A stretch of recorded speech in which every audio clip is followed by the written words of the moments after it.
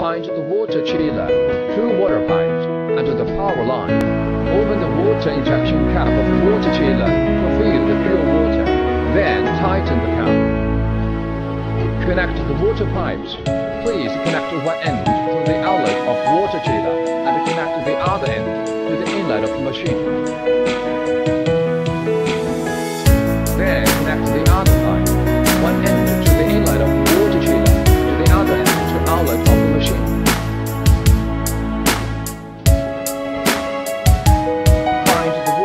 direction line and approaches the right end with the connector of water tube.